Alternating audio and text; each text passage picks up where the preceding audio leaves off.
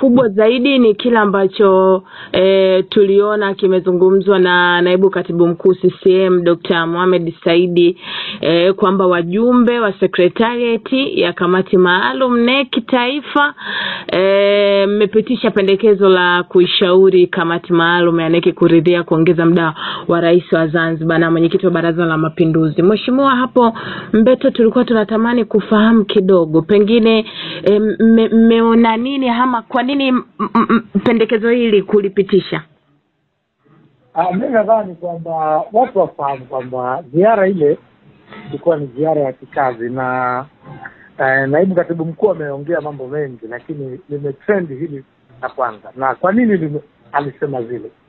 Moja kati ya ziara hii ambayo ilikuwa inaenda kuangalia uhai wa chama, ilikuwa inaenda kuangalia kazi za chama, lakini pia ilikuwa inaenda kuangalia utekelezaji wa ilani na kama mnavyofahamu kwa mujibu wa katiba ya Chama cha Mapinduzi, naibu katibu mkuu yeye ndo mtendaji mkuu wa shughuli za kisiasa hapa Zanzibar, na kamati maalum ndo chombo cha mwisho cha kisiasa za CCM hapa Zanzibar, na ikitoka kwenye kamati maalum hakuna chombo chingine kina juu yake isipokuwa ni kamati kuu. Sasa tulipokuwa tunapokea taarifa mbalimbali, sasa naibu katibu mkuu yale alitoa maoni yake tofauti ilivyochukuliwa kwamba wananchi wengi wanaridhika, mfano wafanyabiashara wadogo wadogo, makundi mbalimbali. Sasa naibu alichosema kwamba e, ni yeye akiwa kama ni mjumbe wa kamati kuu na mtendaji mkuu kwamba atachukua maoni ya wananchi ambao wanataka Dokta Mwinyi aongezee miaka miwili. Sasa akalibeba kwamba na sisi kama sekretari akitusemea kwa niaba ndo mwenyekiti wetu wa sekretariat kwamba na sekretariat inabeba maoni haya pia mwisho tutapeleka kwenye kikao cha juu ambacho ni kamati maalum ya halmashauri kuu ya taifa. Je, wao wakiridhia, basi mambo mengine hapati, lakini sisi tunajua kwamba katiba ya nchi hii ya Jamhuri ya Muungano. Kwa, kwa hiyo unataka kusema kwamba hayakuwa maamuzi ya pamoja? Yes, of course. Naibu alizungumza kama mapendekezo, tafahamu kwamba ni vyema kwa kazi nzuri inaofanywa na Dokta Mwinyi aongezee muda, ukijua kwamba naibu katibu mkuu ndo mwenyekiti wa sekretari. Sasa ni maamuzi ambayo ya maoni, si kama ni uamuzi. Yeye akitoa maoni na akasema kwamba haya maoni atawapeleka kwenye kikao cha kamati maalumu ambacho ndo kikao cha juu kinachofanya maamuzi ya system kwa hapa Zanzibar. Okay, na katiba pengine inasemaje? Inazungumza hivi kwamba kutakuwa na na na na uchaguzi kila baada ya miaka mitano, uchaguzi ambayo na ikasema wazi kwamba serikali hizi zitawekwa madarakani kwa kupitia wananchi. Kwa maana katiba iko wazi kwamba ni vipindi vitano, kila baada ya miaka mitano kutakuwa na uchaguzi, ila e, unaweza ukapata vipindi viwili yaani mwisho wa ukomo kuhudumu kwenye urais ni miaka kumi. Hiyo ndo katiba iko wazi, hata katiba sehemu iko wazi. Ndo maana nikasema haya watu wameyachukulia kama kama labda maamuzi. Hapana, chama sisi ni kama cha kisiasa, ikiwa enyewe ndani ya system kuna vikao vya kamati kuu, halmashauri kuu, mkutano mkuu.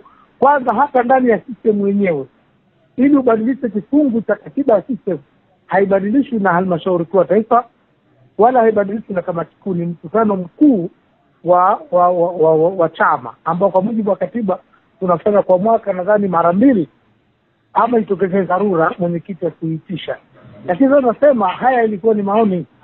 Sasa ndio maana mfano ukija katika kipengele hicho, inabidi si mfumo huo tu, itabidi ubadilishe mfumo wa baraza la wakilishi, na wao baraza la wakilishi liwepo kwa muda miaka hiyo saba. Kuna vitu vingi ambavyo vitafata huko mbele, lakini mi nadhani kama waandishi, chukueni yai alikuwa ni maoni ambayo naibu katibu mkuu kasema atachukua, atapeleka kwenye vikao vyake vya chama vya juu, kwa sababu naibu katibu mkuu yeye haamui, yeye ni vikao vitakavyoamua. Haikuwa na na tafsiri hiyo kama walivyochukulia watu wengi. Na na, na, na, na pengine Mheshimiwa Mbeto, iliwahi kujitokeza hapo nyuma, kwa, nini haya mapendekezo yamekuwa yakitolewa? Ya unajua, baadhi ya wakati, unajua wananchi wanahamasika na wanaona, unajua sometime unaweza ukampa mtu uongozi akapitiliza kwenye ule uongozi wako. Kwa mfano, Dokta Mwinyi ilani ya CCM, kitabu ambacho kina kurasa mia tatu ziro tatu kwenye sekta mbalimbali amevuka zaidi ya asilimia eh, mia na hamsini. Kwa mfano. Kwenye elimu, ilani yake ilimwelekeza ajenge madarasa ama vyumba vya kusomea elfu moja mia tano.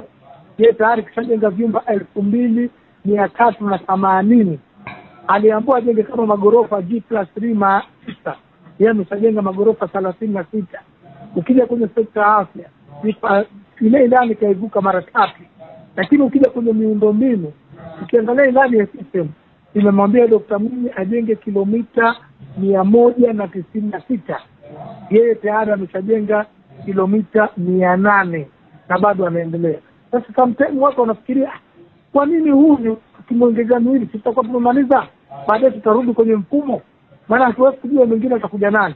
Lakini watu wanatoa maoni yao mbalimbali kutokana na spidi ya Dokta Mwinyi anavyofanya maendeleo na ndio maana nikasema haya ni maoni ya naibu tazungumza. Na kwa kuwa sisi ni wajumbe wa sekretarieti, kasema sekretarieti yangu ni sawa kwa sababu ndo mwenyekiti wa wa secretariat. Na nadhani yachukueni kama ni maoni lakini maamuzi ya ya ya, ma, ya, ya system yanafanywa na vikao vya system ikiwemo kamati kuu halmashauri kuu na mkutano mkuu na sisi ni wajumbe sawa.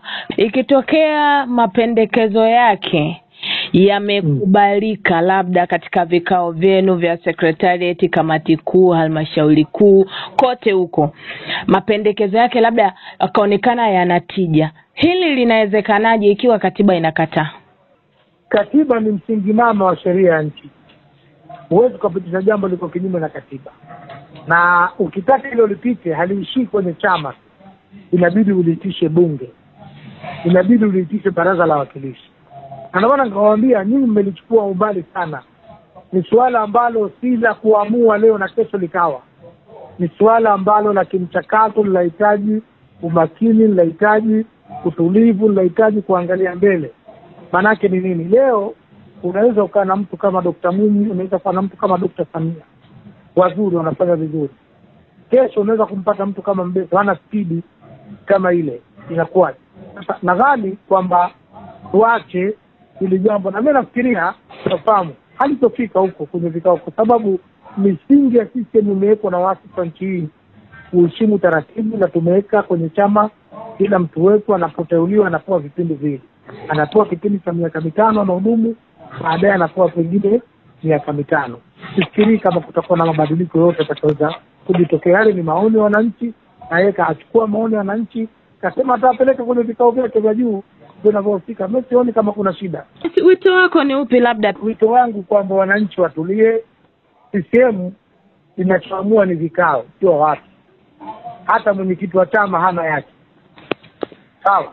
Kwa maana subirini chama kikishaamua kitasema. Na msemaji wa chama kwa niaba ya mwenyekiti na kama mwenyekiti na wengine aweza atazungumza Amos Makala ama nitazungumza mie. Ndo wenezi tulikuwa zamana hiyo.